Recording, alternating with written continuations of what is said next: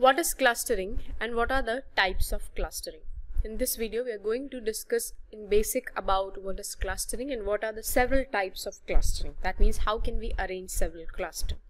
So the basic definition is the method of identifying similar group of data in a data set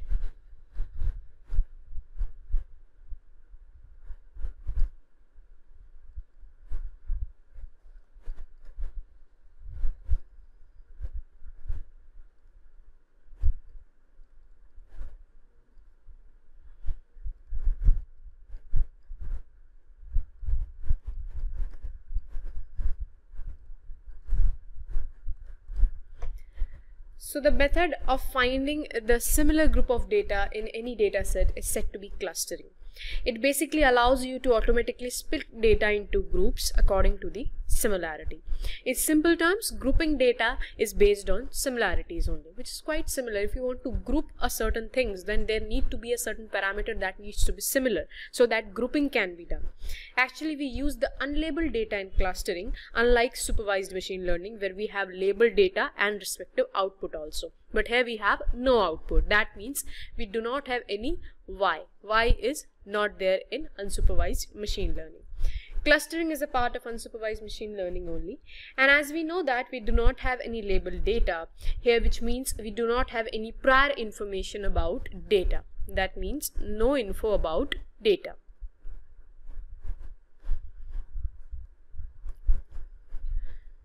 So what we do here is we divide the data into groups based on some similarities. Now let us take some examples so that we can understand it more clearly.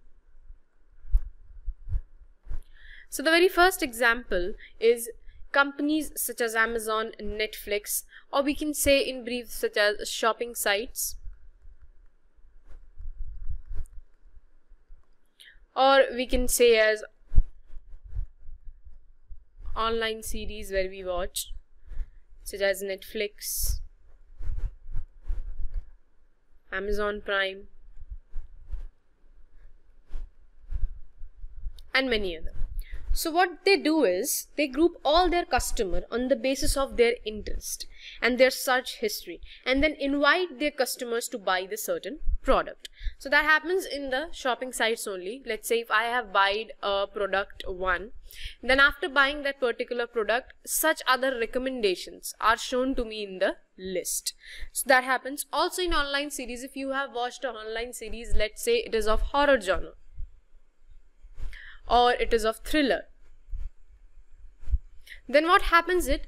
Now in your watch list or in your to be watched it suggests you such kind of series more such kind of series of that particular genre. So how does that happen? It actually happens on the basis of your previous viewing. So what it does it it groups and that means it creates a cluster. Secondly you have seen in the malls also that items are always arranged. That means items are arranged in mall in sales and marketing to group the customer. That means okay customer is buying this item so let it put in the first rack and group all the items of such products there. Third example could be google news. Now what happens in google news is that Whenever you open the Google News to search a brief about any particular news, there are several news channels actually which are covering those particular news. So they are made a particular cluster. Let's see about it also.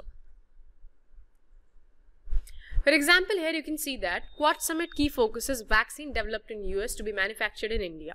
Now this particular news is done with News 18 also. Hindustan Times, The Hindu, The Indian Express and also the Indian Express certain opinions have been generated.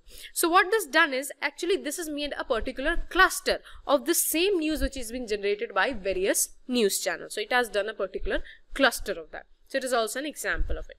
Next we are going to discuss about the types of clustering. So in types of clustering, the very first type of clustering is exclusive. What happens in exclusive clustering is that any particular item or element belong to a particular class or cluster only. That means one particular item belongs to a particular class.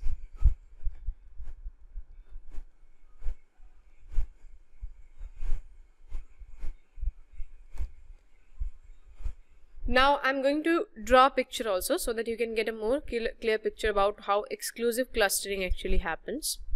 So let us say that this is the y-axis and this is the x-axis and here we have several red dots. Now these are actually the data points and here we have several purple color dots also.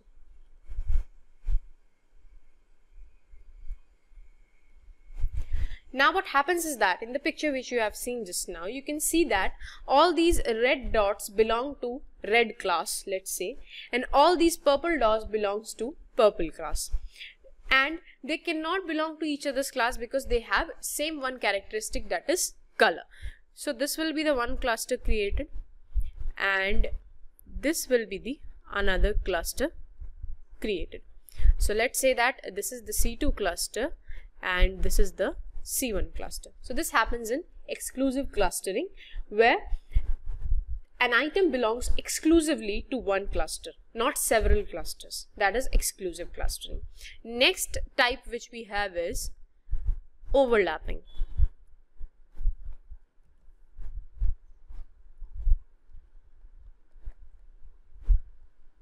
Now what happens in overlapping is here an item can belong to multiple cluster.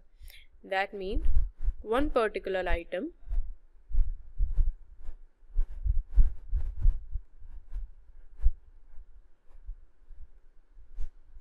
can belong to multiple cluster. So I'll let you understand with an example only. Here you can see that these are the right items which belong to a particular class and these are the violet items which belong to a particular class. Now here you can see these are two orange items also there. They belong to both the classes. That means they have certain properties of both classes so it falls into the overlapping class or we can say that this is the concept of overlapping clustering. So this actually overlaps both the cluster. Next part and the last part of clustering is hierarchical clustering.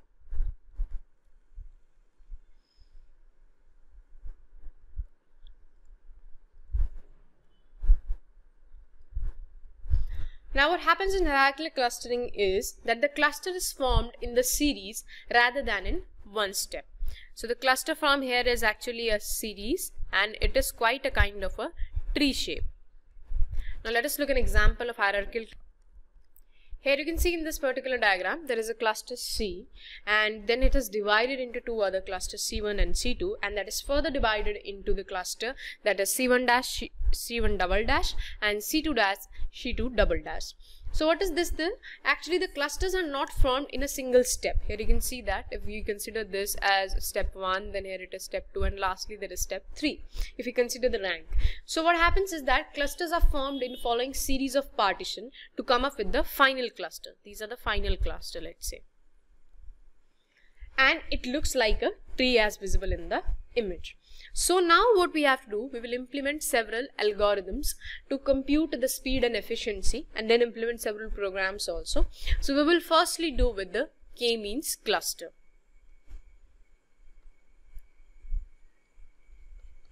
And this k-means cluster and the algorithm I will discuss in my upcoming video.